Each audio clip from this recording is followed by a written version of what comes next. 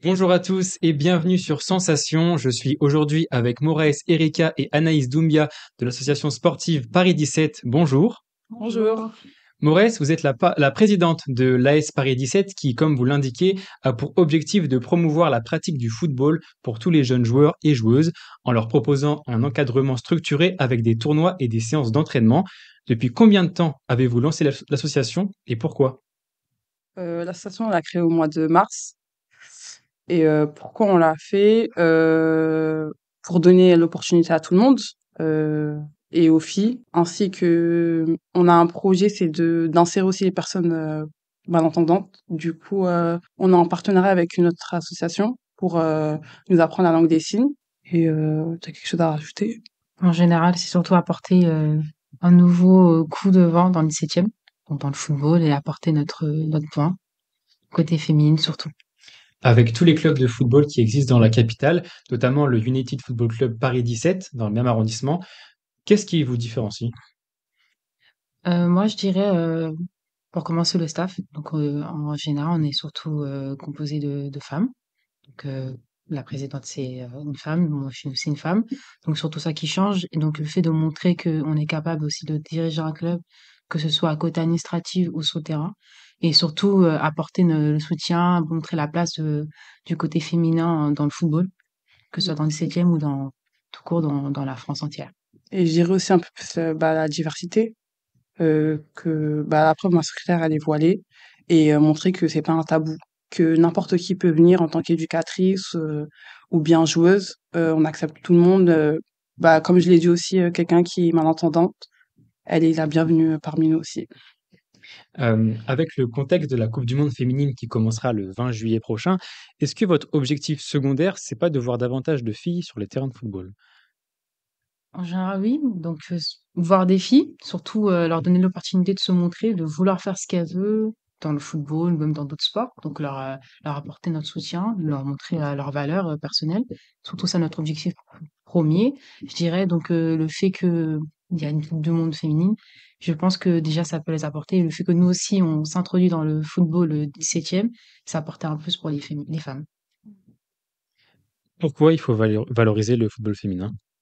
Parce que je pense qu'on a notre place aussi dans notre société et que le sport, euh, le foot ou n'importe quel sport, c'est pas un sport d'hommes. Ça peut être un sport euh, bah, pour tout le monde, quoi. Donc euh, voilà. Selon les chiffres de la FFF de 2023, le nombre de pratiquantes licenciées dans un club de football s'élève à 176 000. Jamais il n'y en avait eu autant en France. Est-ce que à l'AS Paris 17, les joueuses sont plus nombreuses que les joueurs? Vous avez des chiffres? Pour l'instant, on vient de commencer, donc on est en cours d'inscription. Donc pour l'instant, on n'a pas de chiffre global, mais euh, en général, on accepte aussi euh, les garçons, donc il y a des catégories de U9 à U14 pour les garçons. Et mais en fait, on a surtout une équipe féminine en plus, donc c'est ça qui est le point fort euh, de notre club. Mais sinon, en soi, je dirais pour l'instant, on a plus de filles inscrites. Mmh. Même au niveau du staff, je pense que au niveau des garçons, les filles elles sont majoritairement présentes. présentes. Vous proposez la pratique du football aux enfants de 8 à 15 ans, sauf pour les catégories garçons qui s'arrêtent quand elles à 13 ans. Pourquoi? Bah, En soi, euh, comme on peut le comprendre dans le foot, c'est surtout, y a, dans tous les clubs, on peut trouver qu'il y a plus de place pour les hommes, donc euh, dans toutes les catégories de, de petits à grands.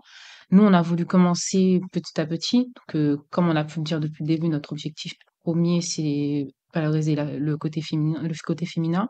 Donc forcément, euh, on a voulu faire une section féminine pour commencer.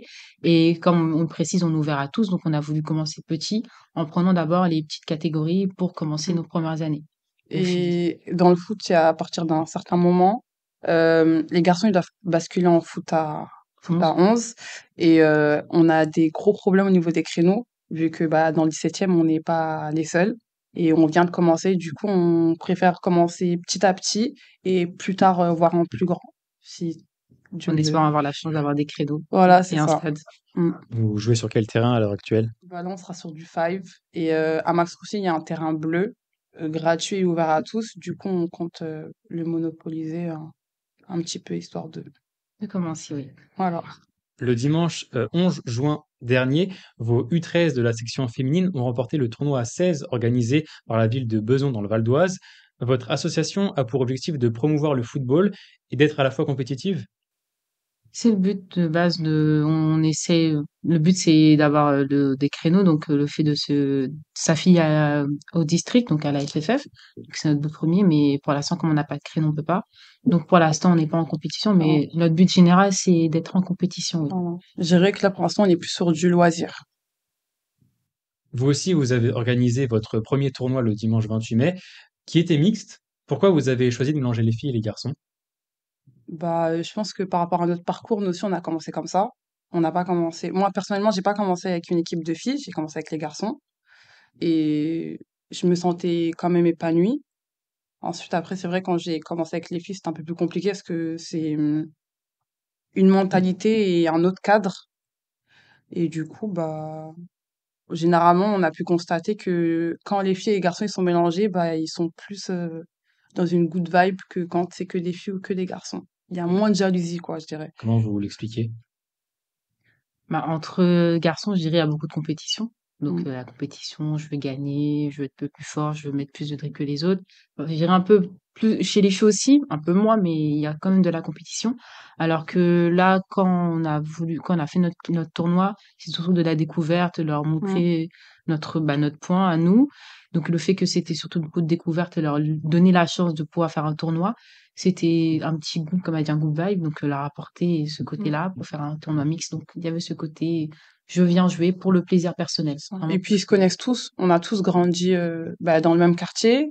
Et euh, certains ils sont dans la même école ou bien ils ont grandi ensemble. Du coup, bah, ça leur a fait plaisir de se retrouver à un moment. euh, Enfin, je me dis que le dimanche de notre tournoi, c'était le seul moment où ils pouvaient jouer tous ensemble. Oui. Parce que c'est vrai qu'à l'école, après, chacun a son groupe. Et là, ce dimanche-là, il y avait aucun groupe. C'était tout le monde dans le même groupe. Malgré qu'il y a eu on va, une mini compétition, mais euh, on faisait tous partie de la même équipe, quoi. Qu'est-ce que ju- justement ça vous a fait ce tournoi de, de, de l'avoir d'avoir réussi à le faire, à le créer, de voir autant de monde? Euh, Moi, je dirais que être une femme, c'est pas, c'est pas rien, qu'on a la possibilité de faire des choses, qu'on peut avancer, qu'on a le pouvoir pour le faire, si on le veut vraiment. Je dirais surtout le pouvoir d'avoir l'accès de le faire, je dirais ça. et du plaisir. Et euh, on avait un peu du mal à réaliser sur le moment même. On- une semaine après, une fois qu'on était un peu tous dans notre coin euh, calme, on s'est dit, euh, ouais, on l'a fait. Et même de voir les petits qui nous en parlaient avec nos t-shirts encore, parce qu'il y a des petits qui le portent encore aujourd'hui, on s'est dit, ah bah, mine de rien, euh, c'est un bon début. On a eu un, un impact. Voilà. Est-ce que vous envisagez de créer un tournoi totalement féminin à l'image de celui qui a été fait à Beson? Pourquoi pas? C'est dans nos idées. Toujours euh, le côté féminin. Ou Mm. peut-être une canne. Parce qu'on a fait aussi une canne euh, le même jour, l'après-midi. Une canne du 17. Et pourquoi pas faire une autre canne, mais avec euh, des équipes féminines par contre. Ou peut-être mixte aussi. Ou filles contre garçons, on sait pas, mais À voir. pas, à voir. On est, Peut-être une saison 2 ou à voir. Vous en avez parlé, vous avez aussi pour projet l'insertion des personnes en situation de handicap dans le sport. Comment le football peut-il s'adapter à ces personnes, selon vous? Alors, de ce que je connais personnellement et ce que j'ai pu voir euh, via le football, donc des personnes euh, malentendantes, même malvoyantes, peuvent pratiquer. Donc en soi, il y a des, euh, bah, du matériel spécifique pour eux et une structure, je dirais pas structure, mais une situation spécifique par, exemple pendant les entraînements, adaptée à eux pour qu'ils puissent suivre comme toute personne normale.